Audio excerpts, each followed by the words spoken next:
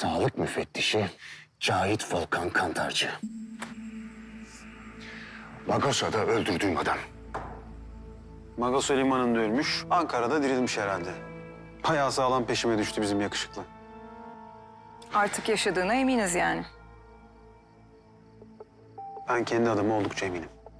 Ben bu konuda çok azar işittiğim için artık temkinli konuşuyorum.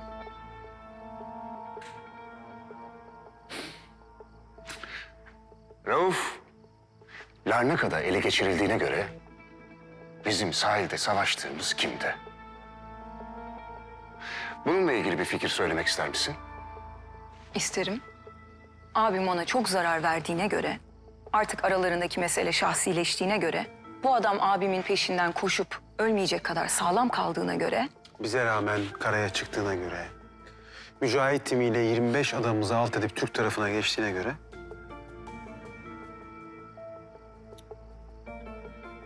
sanırım bu. Ve abi sana katılıyorum. Adam gerçekten çok yakışıklı. Üstelik ölümsüz.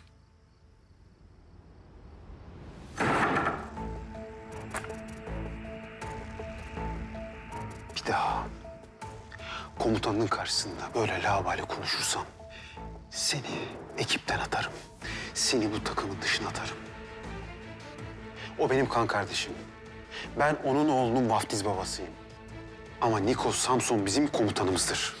Yalnız kalmadığımız sürece kararlarını, fikirlerini ve bana yönelttiği memnuniyetsizlikleri asla sorgulamam. Anlaşıldı mı? Anlaşıldı mı? Anlaşıldı.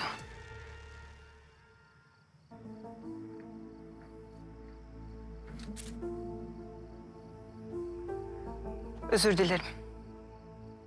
Hey Niko, oğlunu ne zaman göreceğim? O annesiyle beraber Maraş'ta. Haber verdim gelecekler. Keşke onu Peder Stavros'la tanıştırabilseydik. Keşke. Hala bir iz yok mu?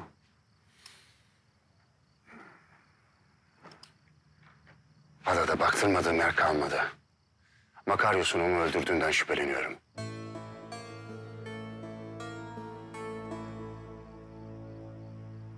Tanrı günahlarını affetsin. Onun tek günahı Türk dostu olmak. O Türk dostu değil. İnsan dostuydu. Ve bazen ondan öğrendiklerimizin çok eksik kaldığını düşünüyorum. Bence yanlış düşünüyorsun sevgili kan kardeşim. Bu konuyu tartışmak için epeyce vaktimiz olacak merak etme.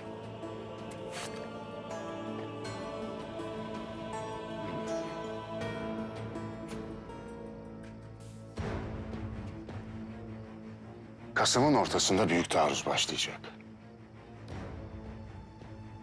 Sonra muhtemelen Türkiye ile savaşa gireceğiz.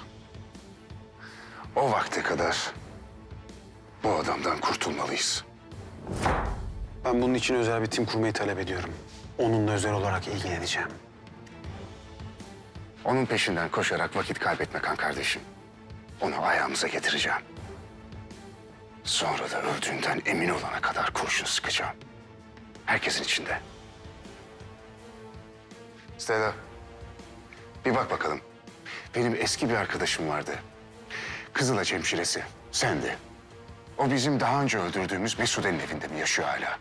Bir soruştur.